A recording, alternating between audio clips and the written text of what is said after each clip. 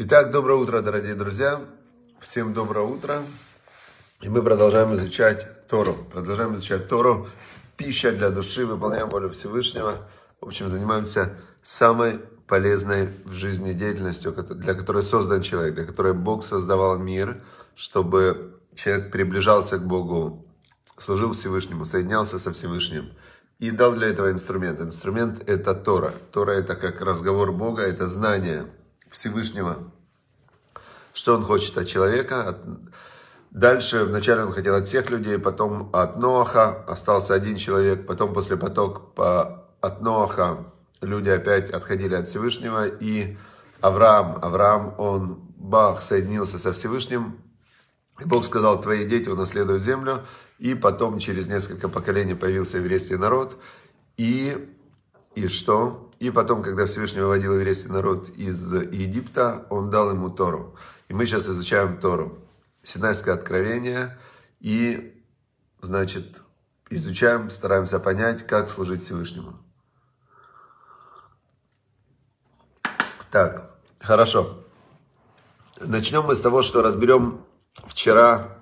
Помните, я обещал, позавчера я обещал, вчера у меня не получилось, а, спросить у кого-то из знающих раввинов – по поводу Лота, как Лот, как Лот мог так поступить, племянник Авраама, когда в Сдоме, в городе Сдом, э, Всевышний уничтожал, решил уничтожить Сдом и послал ангелов. И эти ангелы, они были в виде людей.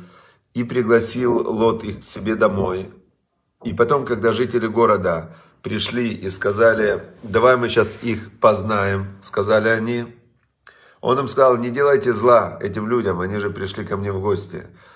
Лучше возьмите моих дочерей двух и делайте, как хорошо в ваших глазах. Страшная ситуация, вообще страшная, нелогичная, непонятная. То есть э, жители с дома, это как раз называется садомиты, садомиты, их так называют, те, которые насилуют мужчин. Значит, пришли изнасиловать мужчин, а он им предлагает э, вместо мужчин э, отдает своих дочек. И, значит, э, ну, непонятно, вообще непонятно, если он хороший, добрый человек, если он цадик, праведник, как показывает первый поступок, он хочет спасти двух путников, то какой ценой? Ценой отдать своих дочерей?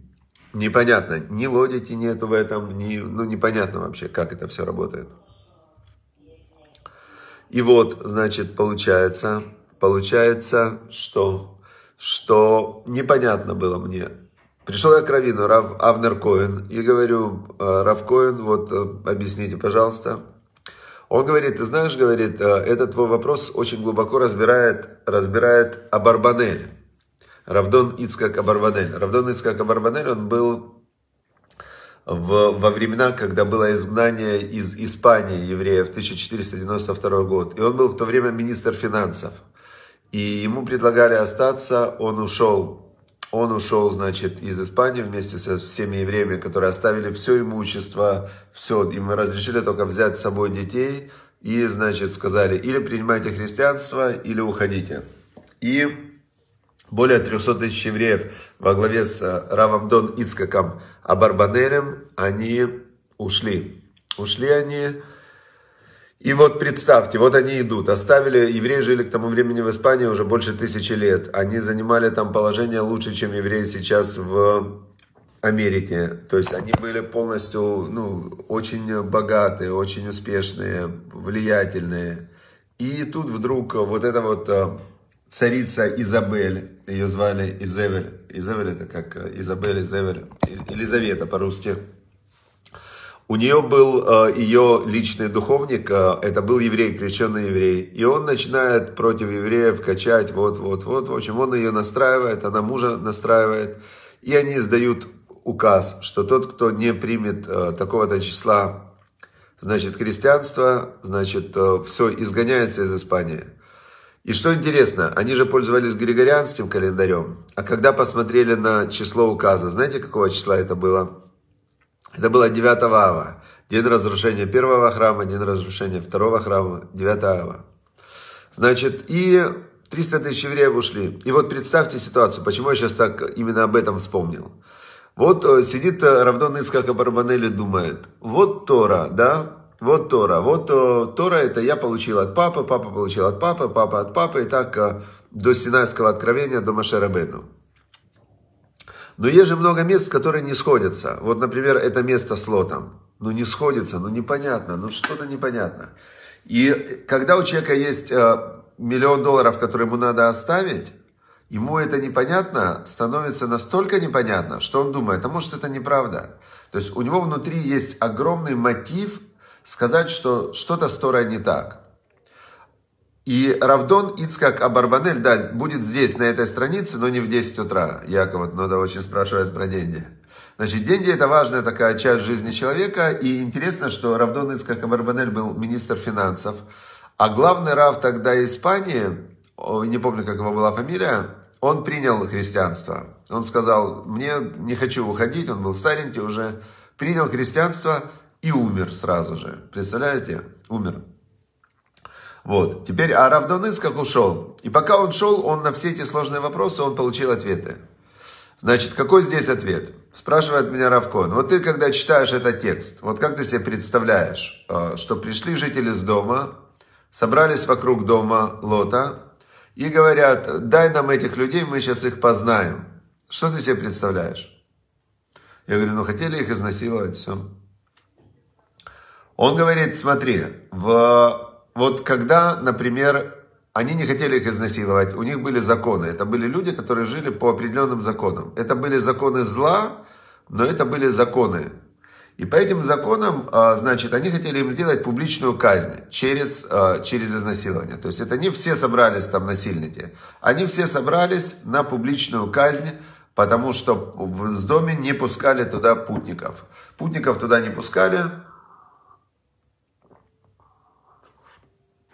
И они хотели, не все они хотели изнасиловать. Это не было, что они все прибежали, давайте сейчас устроим это двух мужиков изнасилования. Нет, они хотели их публично казнить, устроить публичную казнь. До сих пор, если вы погуглите, в Иране, когда вешают кого-то на виселицах, то собираются тысячи людей, смотрят, э, ну, такая у них развлечение.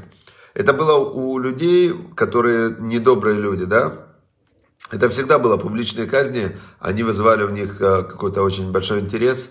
Например, целый построили римляне Колизей, где в Колизее у них были бои гладиаторов до смерти, да, они убивали, зверей на них пускали, водой топили там. Ну, то есть такие римляне были очень э, идолопоклонники.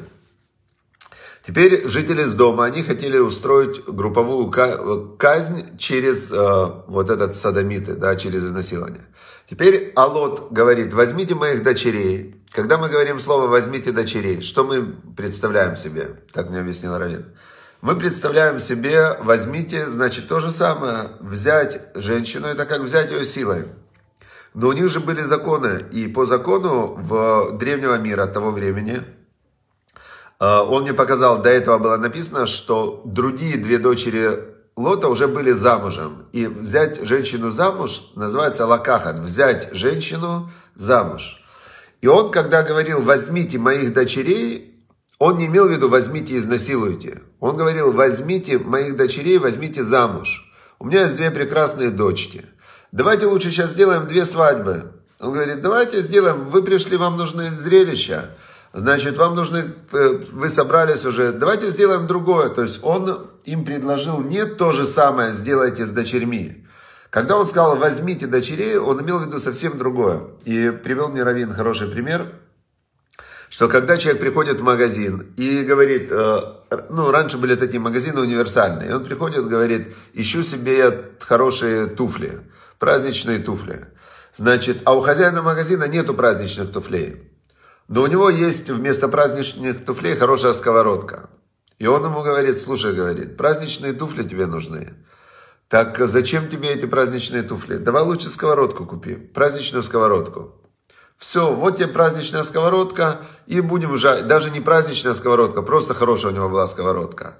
Он, значит, вот как березка магазин, да, раньше были чековые.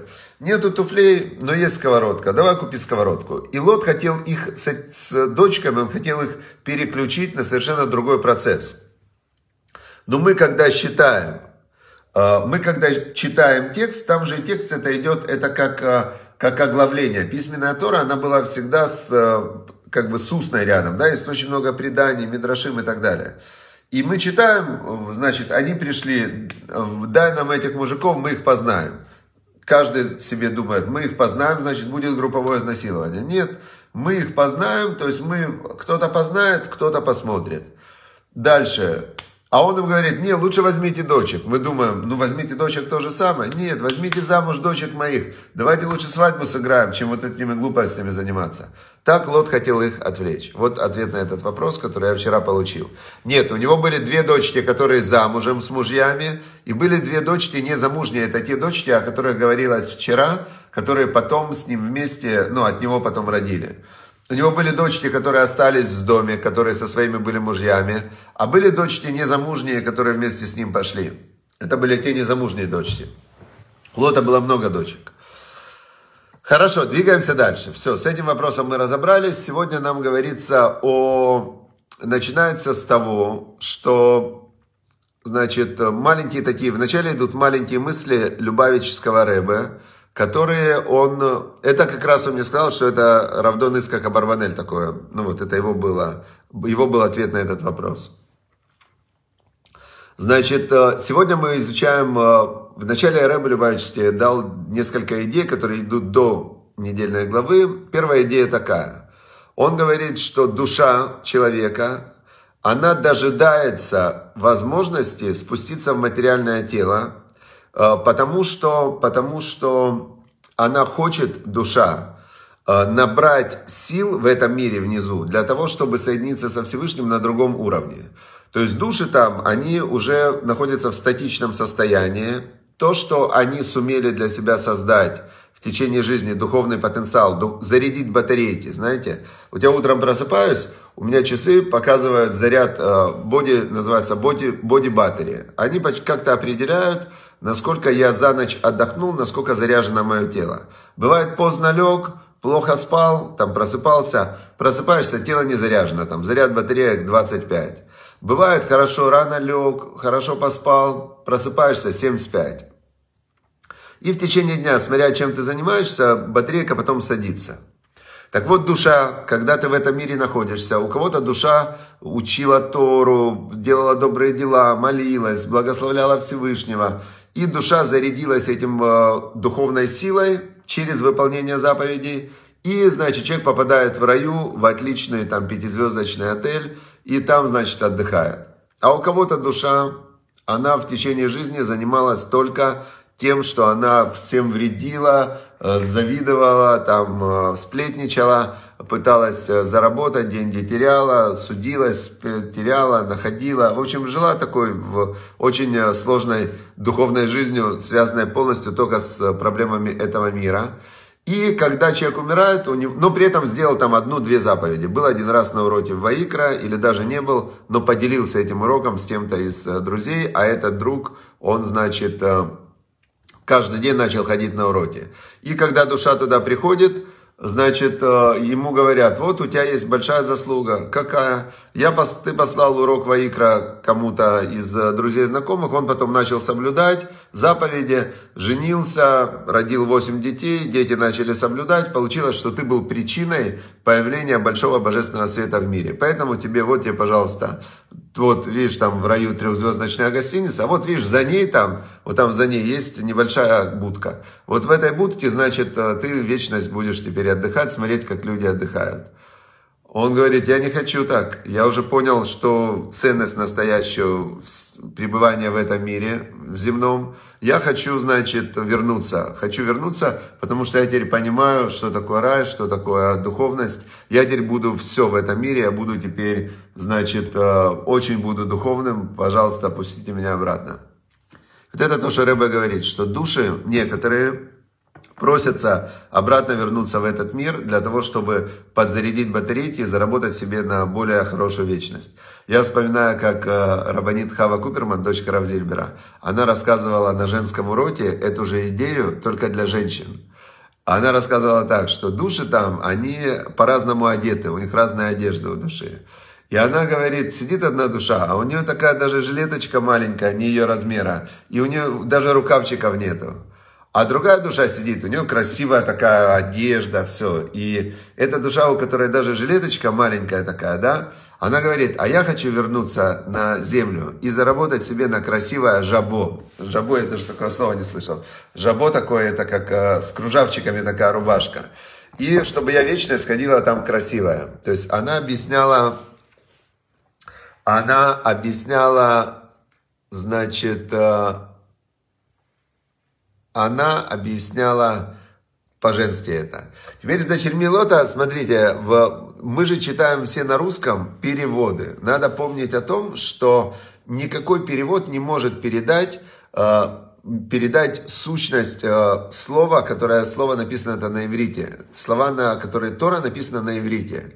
А переводы делаются на русский. Причем переводы делаются, иногда, я вот читал несколько переводов э, Мишлей, э, притчи, на старославянский вообще язык. Вообще непонятные слова, которые, как переводят эти слова, вообще непонятно. Поэтому э, в оригинале вписывается, то есть мне показал Равин, очень хорошо вписывается, потому что он сказал, ну то есть мы сейчас не будем дальше продолжать, э, это объяснение в оригинале, оно вписывается в текст э, нормально, то есть нормально. Оно не очевидное, но, э, но вписывается. Дальше. Дальше говорит э, Любавичский Рэбе как раз про Кабалу. Очень хорошая идея. Он говорит так, что не существует, он говорит, двух Тор. Одна для мистиков, другая для законоведов. То есть есть э, Тора, которая говорит простым языком о простых вещах. И о вещах очень прозаических, которые, вот законы, надо выполнять их в деталях.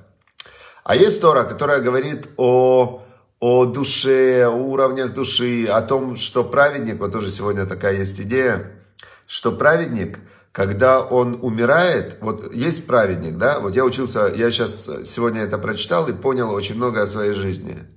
Я когда-то учился у Рав Ицкак Зильбера, он был великий праведник, то есть это был человек, который был с Богом вот просто одно, нельзя сказать одно целое, да, у него был один вопрос вот во всем, один вопрос каждую секунду жизни – что Бог от меня хочет, и он был самоотверженный, невероятно, то есть у него другого интереса в жизни не было, только служить Всевышнему. Он такие испытания проходил, и всегда веселый, всегда радостный, всегда счастливый, и счастье его было только выполнять волю Всевышнего, настоящий праведник. Я когда с ним общался, то просто вот бывает, я потом уехал в, жить в Петахтику, в другой город, но вот бывает там день-два, батарейки духовные заряжены. Потом, значит, что-то не так, что-то не то, настроение не то, как-то, ну, теряешься. Я ехал к нему на урок, приезжаю к нему в Иерусалим на урок, значит, э, дома, дома, на, у него был урок такой дома, заходишь к нему, и все, и попадаешь в другую реальность. Просто вот духовный свет, сияние.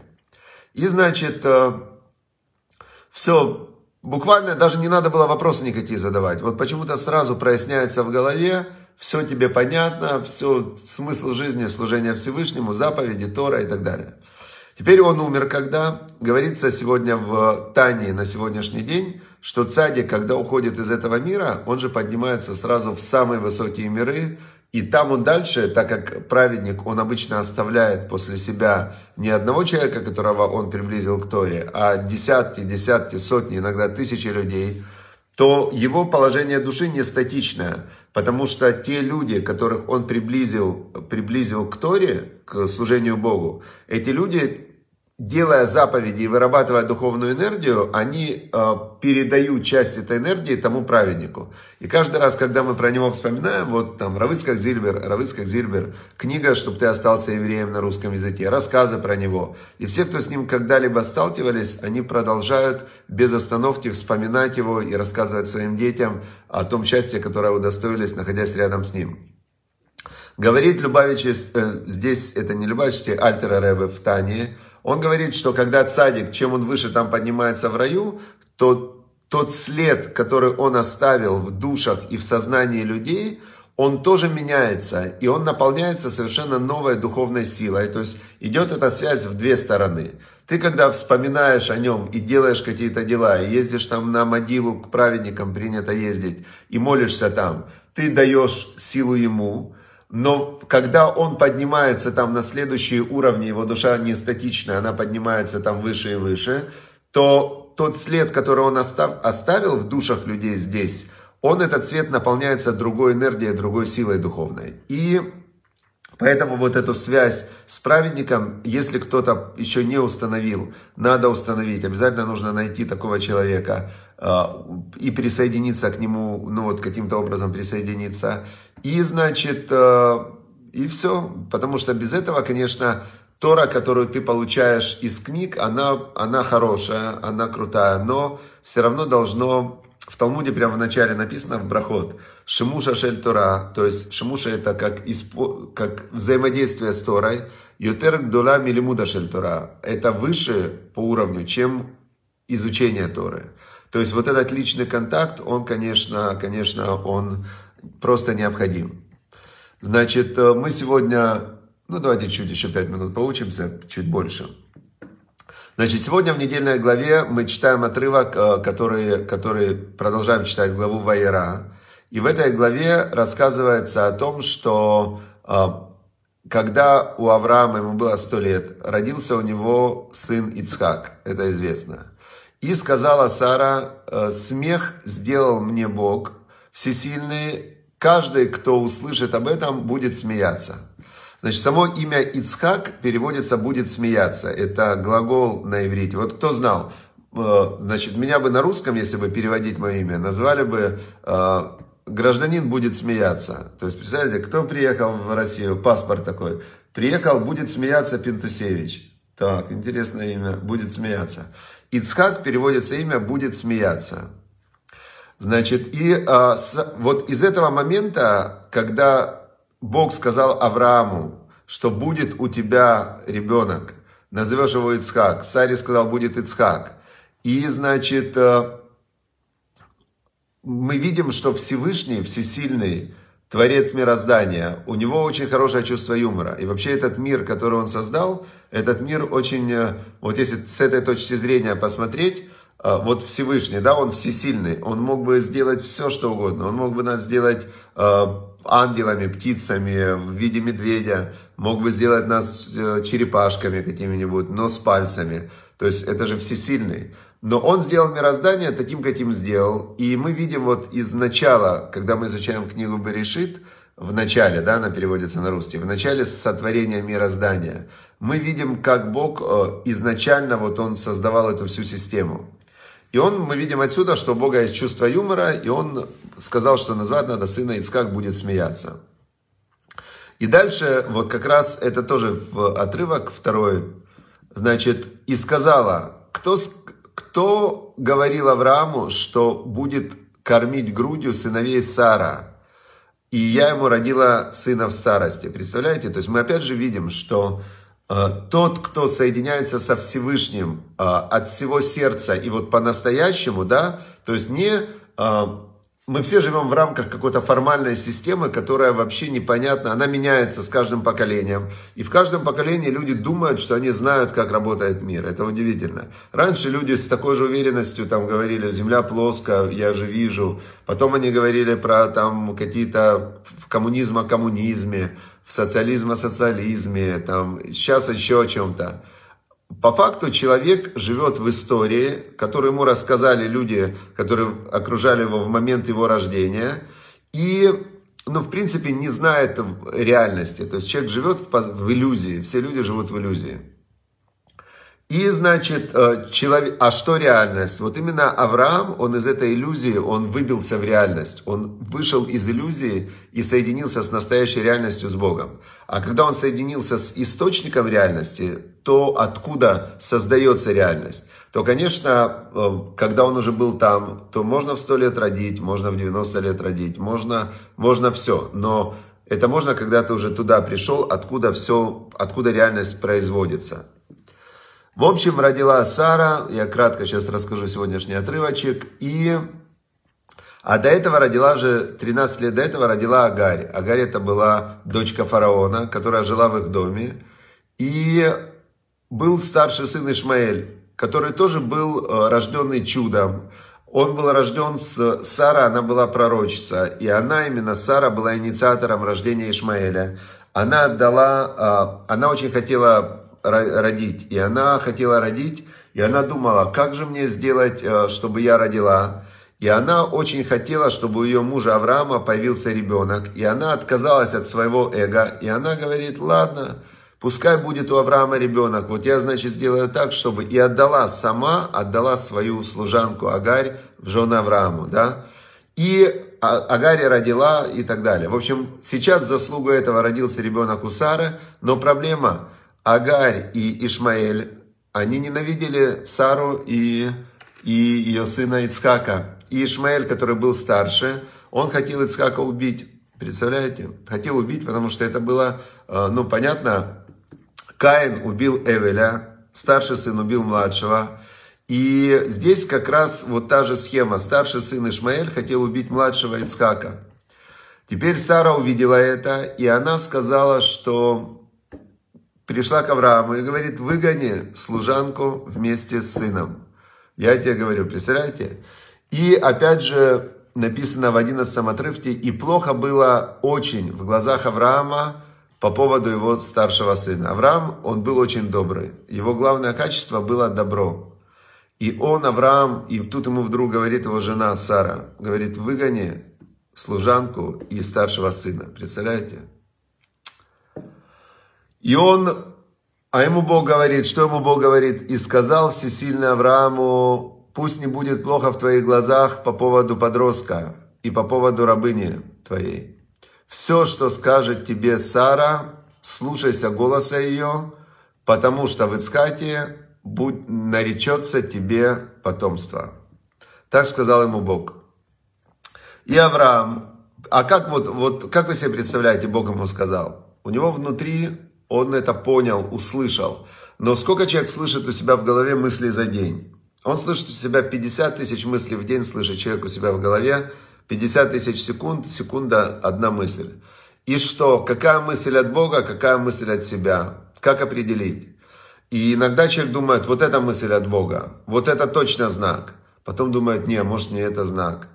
То есть Авраам, вот в том-то и была постоянный уровень его испытания, отличить свой внутренний голос, э, который является просто проигрыванием старых мыслей, которые управляются желаниями, и услышать голос Всевышнего, который голос души. И они звучат в одной голове, и отличить вот эти два голоса было очень сложно. В общем, Авраам умел это сделать, выгнал он Агарь, с Ишмаэлем. Э, говорит нам устная Тора, что Ишмаэль в этот момент заболел. И вот как раз э, тут мы сегодня узнаем, как Тора относится к злому глазу. Написано так. Э, значит, положил Авраам Агаре и ребенка на плечо. Почему? Значит, потому что, прям написано это, классический комментарий Раши пишет так. Потому что положила Сара на него Айнара злой глаз – и его сразу же э, охватил жар, и он не мог ходить. Представляете?